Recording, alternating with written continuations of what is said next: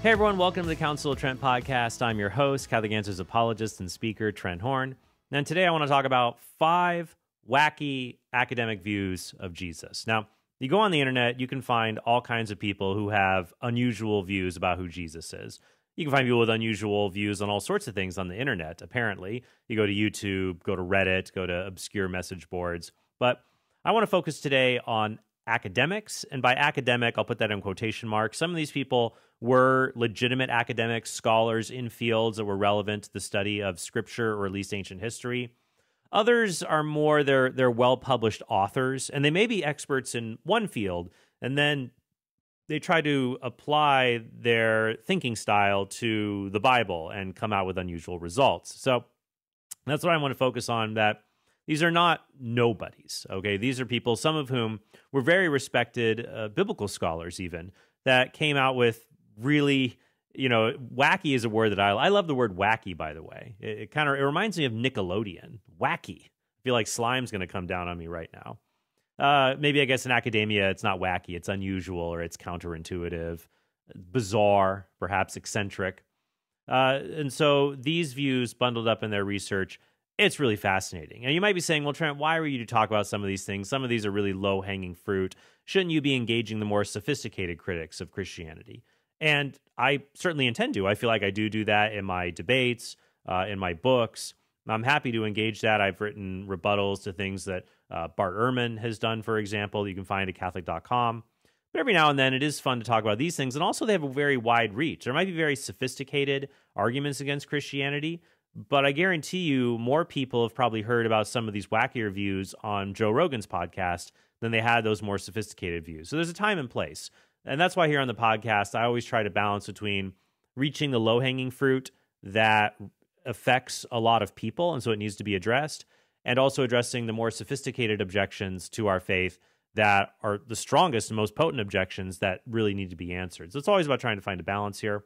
And if you'd like to help us to address all those different kinds of objections, definitely go to trenthornpodcast.com, become a subscriber there. That helps us. You can get access to our Catechism and New Testament study series. You get the print edition of Catholic Answers magazine sent to your home. That's pretty cool. Get something actual in print that you can have. You can get a, a mug, Counsel of Trent mug, all kinds of great stuff.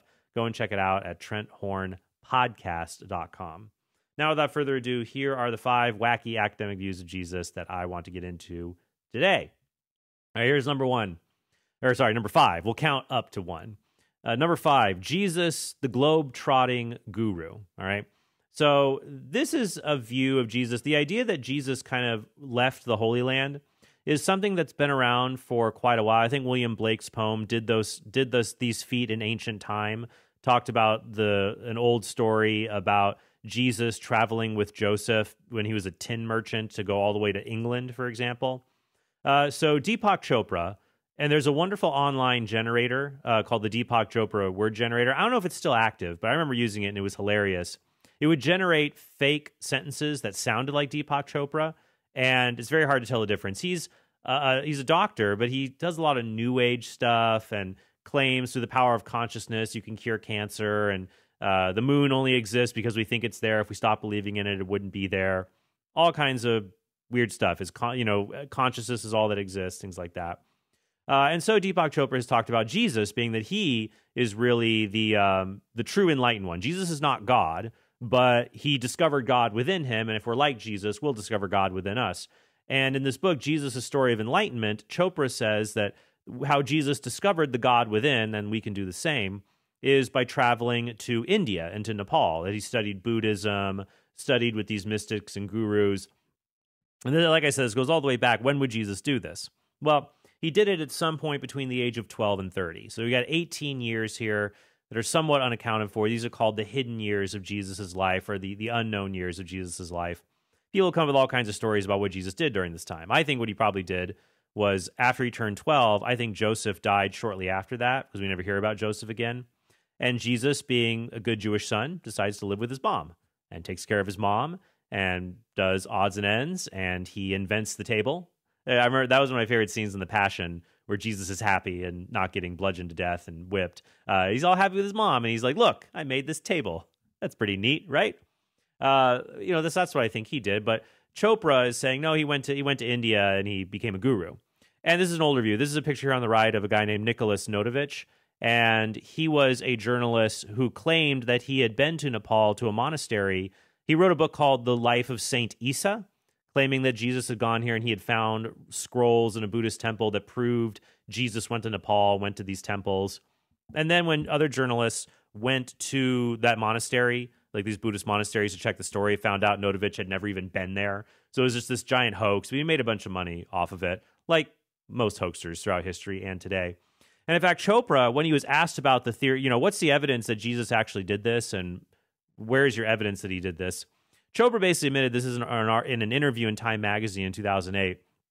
He says, I went into incubation, meditation, and I allowed this story to unfold. It fits into the category of religious fiction. So there you have it. It's a fun and fanciful story, but not one we really have good historical sources to to rely on for that. Ah, uh, number four, married dynastic Jesus. This, of course, is the Da Vinci Code, authored by Dan Brown, that was later uh, turned into a movie with Tom Hanks. And what's hard is normally when Tom Hanks is in a movie, it's awesome. Tom Hanks is a national treasure. They should just put him in the Smithsonian uh, with Paul Rudd. Both of them keep them safe there and on display because they're great, especially Tom Hanks. Like every movie I see with him, he kind of plays the same character a lot, but I really like it. And he does his best in Da Vinci Code, but it's just bad because Da Vinci Code is not really a great novel. The characters are really thin. It's not really great. So in the Da Vinci Code, uh, Tom Hanks plays Robert Langdon, a symbologist, which I don't think is a real occupation, solving about a murder in the Louvre, and there's an albino hunting people, and it all has to go back to the fact these clues that Leonardo da Vinci left in the Mona, in the Last Supper and the Mona Lisa. And the clue in the Last Supper is that Jesus was actually just a regular guy and he was married, and he was married to Mary Magdalene, and their offspring became the Merovingian dynasty in France. So married Jesus that formed this powerful dynasty, and that he, and the idea that he was God was invented later. Uh, and I remember actually going through the Da Vinci Code. This is in 2005. I hosted an apologetic session for the youth group I was volunteering with at that time. I had just been out of college for about two years, and these, there were teens where really their faith was really shaken by this book. And I asked them, "Why are you why, why are you concerned about this? It's just a, it's just a story. It's just a novel. And so they have things like, oh, in the Da Vinci Code, look, this is actually Mary Magdalene. See? And they form an M, like Mary Magdalene. Uh, no, th- this is John. Uh, and he's drawn with uh, without a beard because he's a youth. I think in the book they're even like, I peered at the painting and saw her abundant breasts or something like that. And that's I couldn't believe it. It's Mary Magdalene right here. No, you ask Renaissance scholars that this is this is just John. You know, so uh, nothing nothing unusual here in the in the Last Supper. And even if, even if it were, that wouldn't say anything about what Jesus actually did, because the earliest historical evidence that Jesus had a wife uh, is actually there was I think a document in Egypt. Karen King is a scholar who promotes the view Jesus was married and she actually says the Gospel of Philip. Uh, it describes something where Jesus has an affection towards Mary Magdalene, but even Karen King, who supports the view Jesus was married, uh, doesn't think that that thinks that's an ambiguous reference. She used a Egyptian document that later turned out to be uh, a hoax, a forgery, uh, so didn't even support her thesis at all. But the Da Vinci Code, what's funny about it is it says things that are just completely not true and contradicted by the historical record, even outside Scripture. So there's a part in it where they go see this historian Teabing who tells them here's what really happened with Jesus, who's played by I think Sir Ian McKellen in the movie. And it says Constantine commissioned and financed a new Bible which omitted those apocryphal gospels that spoke of Christ's human traits and embellished those gospels that made him godlike. So the idea here is the Constantine conspiracy theory of putting forward, you know, where do we get this idea that Jesus is God? Well, the what they'll say is that these other apocryphal gospels, like the Gospel of Philip, the Gospel of Peter, the Gospel of Mary Magdalene, uh, they show us the human Jesus, and they were and Constantine banned them and gathered them up and burned them, and instead forced Christians to use the canonical gospels, Matthew, Mark, and Luke, that quote embellish those gospels that made him godlike. But what's interesting here is that it's the reverse, actually. When you look at the earliest gospels, the synoptic gospels, uh, they really show Jesus in his humanity. Even the Gospel of John, talks about how Jesus wept, for example. Uh, Jesus gets hungry, he gets agitated. He's very human in these canonical Gospels from the first century. The later apocryphal Gospels talk about Jesus. Uh, the Gospel of Peter has him coming out of for his resurrection. It's really exaggerated. He's like a giant going up into the sky. Uh, the Gospel of Thomas, uh, he says, "Split a piece of wood. I am there," almost as if Jesus is just the one with everything. So, uh, what was that joke? Uh, what did the mystic say to the deli owner?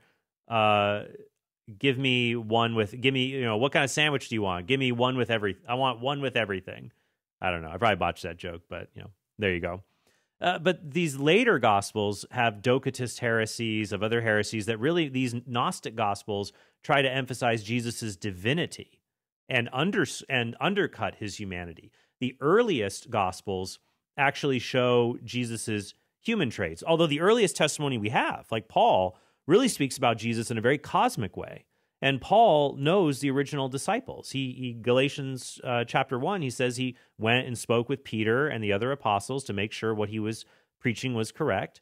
And so this, these were not the original disciples were not following a merely human Jesus. And the first Christians uh, did not believe Jesus was merely human. There's this idea that oh, Constantine got people to believe in a divine Jesus to have unity in the empire.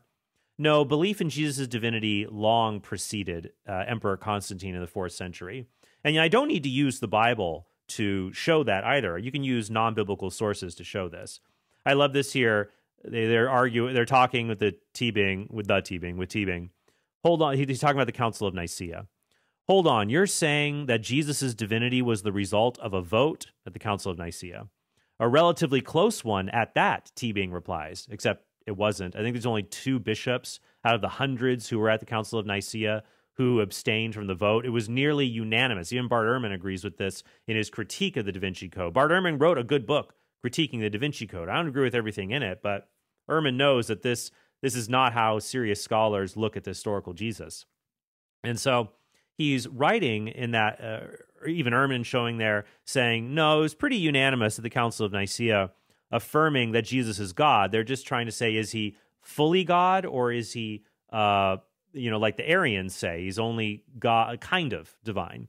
And no, they they fully affirm with only two abstaining that Jesus is homoousios. He is consubstantial, the same being with the Father.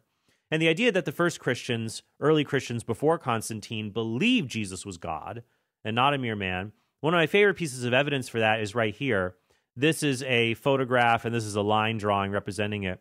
This is called the Alexamenos graffito. And this uh, inscription here, it says Alexamenos worships God or worships his God. So you have this Roman soldier here, and he's worshiping a guy being crucified with the donkey's head. This is not Christian art. This is art making fun of Christianity. But even the art making fun of Christianity admits that Christians, how it's making fun of them, is they worship a crucified man with a donkey's head, someone to pity and to ridicule. This is his God. And Pliny the Elder says in the beginning of the second century, Pliny the Elder said that Christians would meet early in the morning at a fixed time to sing a hymn to Christ as to God. Uh, so you go to these non Christian sources before Constantine. It's very clear Constantine did not invent the divinity of Christ. So that's number four. All right, so number three, Caesar approved Jesus. Now we're getting the real wacky ones here. They were wacky before, but we're going to dial it up to, to 11. Uh, this is from Joseph Atwill, and he is a independent scholar. I think he went to a Catholic high school in Japan a long time ago, and he's independently researched all of this. I think he's still alive. He's like in his 70s.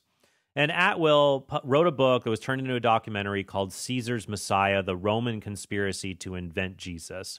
And the idea here is that Flavius Josephus uh, was hired by the Romans to invent the historical figure of Jesus sometime in the late first century to have an appropriate figure of worship to be able to pacify the Jewish people. I'm still not entirely sure what his thesis is in this regard.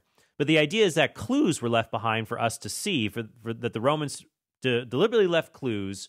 So if you read the Gospels in the New Testament, you can see they left clues in there for us that this is all made up. One that he gives is that when Jesus says, Come and I will make you fishers of men, this is a reference to when the Roman soldiers during the Jewish war uh, killed Jews fleeing from them who were fleeing in the Sea of Galilee. They shot arrows at them and caught them like fish.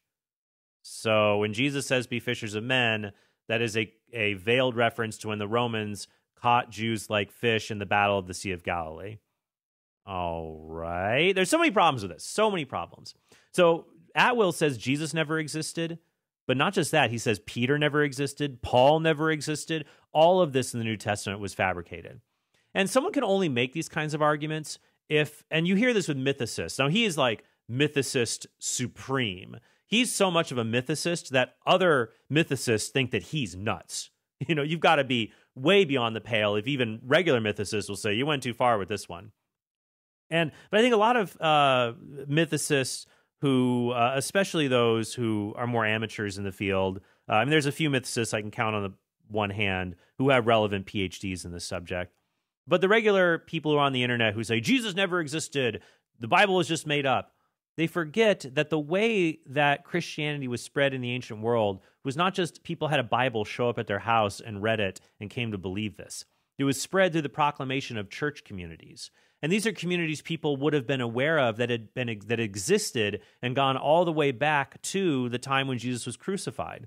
So it would be really weird if the Roman Empire is trying to invent Jesus and then claims in all these fake writings of the New Testament, all these fake churches, that eventually these churches end up existing. Some of these churches, these churches still have patriarchs that exist to this day in Thessalonica and other places. Um, when people by the time of the second century come to join them, wouldn't they be suspicious these churches basically popped up overnight that claim to have a historical existence going back several generations? Instead, the Roman Empire just kind of pops them up like, here you go, come and join. It does not make sense. And like I said, other mythicists have utterly rejected Atwill's theory. Richard Carrier says, I gave it my, my best shot. It doesn't work. Robert Price, who's a really fun guy, actually. I enjoy reading and listening to him on a lot of different things. Uh, here's Price's review. So Robert Price denies Jesus existed as well. And here's his review of Atwill's Caesar's Messiah. So he says, one hates to be so severe in the analysis of the work of an innovative thinker who gives us the gift of a fresh reading of familiar texts. Very, you know, he's charitable, trying to be. But in the present case, it is hard to euphemize. The reading given here is just ludicrous. Uh, and that's a lot coming from Price, who's willing to open himself up to all kinds of unusual readings of of the New Testament to support uh, mythicism. Uh, I even love, and there's a book, Five Views of the Historical Jesus, and Robert Price is in there representing the mythicist view. And John Dominic Crossan, who's someone who denies the resurrection of Jesus. Uh, so he's someone who normally would be, I would engage their arguments in a critical way. John Dominic Crossan just savages Robert Price uh, in that anthology. It's called Five Views of the Historical Jesus. Definitely go check it out. Uh, number two. Now we got to go back to the wild 60s and 70s. So uh, get out your your disco, get out your uh, Woodstock paraphernalia. Here's number two. Jesus tried to fake his own death. The Passover plot by Hugh J. Schonfeld. Schonfeld, actually, our last two are the most legitimate scholars. Price has a, a PhD uh, he teaches at a, a, seminary. I think it's called Johnnie Colemon Seminary. I'm not sure if he's still there anymore. But Schonfeld was a legitimate Jewish scholar that was well respected. And then he published this view called the Passover Plot, which was later turned into a film in the 1970s. And so he writes in his book that a conspiracy had to be organized, of which the victim was himself the deliberate secret instigator. It was a nightmarish conception an undertaking, the outcome of the frightening logic of a sick mind or of a genius, and it worked out. He's talking here, what he's what Schonfeld claims in the Passover plot is that Jesus wanted to be a Messiah to people, and he knew the Messiah had to die and rise again. So Jesus' plan was to fake his own death and then fake his own resurrection. And he got it all set up. He had a few disciples in on it, but he didn't plan that a Roman soldier would stab him with a spear, and he ended up actually dying and then people still believed in his resurrection anyways. So that's the Passover plot. Another theory that even uh, secular and, and critical scholars don't pay heed to because it doesn't really explain a lot of things. Uh, it doesn't explain why people come to believe in the resurrection when you can go and find Jesus' empty tomb, you can actually go and find the body. It's there because Jesus did die. Now you say, well, some of the inner, maybe some James and Peter were were in on it. So that's the fraud theory. Okay, that's the fraud theory. But uh, liars make poor martyrs. You know, the, especially somebody like Peter, who would demonstrate himself to be quite the coward.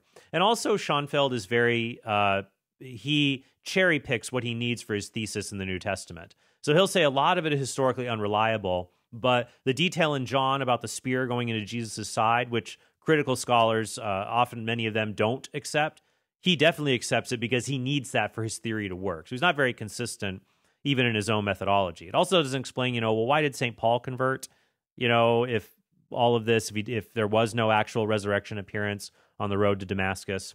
But that's the Passover plot. And it's good for you to know. Also, the, the detail here is Schonfeld did not say Jesus uh, faked his death and faked his resurrection. That's the classic swoon theory. And that was dispensed long ago, I think, by Strauss, who was a German form critic who, who was very skeptical of Jesus, but said, look, no one's going to believe the Lord of life has risen from the dead if you have this bloody, beaten body that people see after the crucifixion. So that's not Schonfeld's view because he thinks he really did die, but accidentally, but he organized it. It's it's an intricate web of uh, of nonsense. So, and of course, number one, number one wacky academic view of Jesus, it was all mushrooms, man. This is one that has shown up on the Joe Rogan podcast, uh, where Rogan's talked about this because Rogan likes to talk about psychedelic things and other things like that, and he references a book written in 1970 by John Allegro called The Sacred Mushroom and the Cross. So, like Schonfeld, John Allegro was a, a, distinguished and respected scholar. He was involved in translations of the Dead Sea Scrolls. So he was he was a respected scholar. And then he published The Sacred Mushroom and the Cross in 1970. And he lost all respect in the academy. The book is actually kind of a hard read.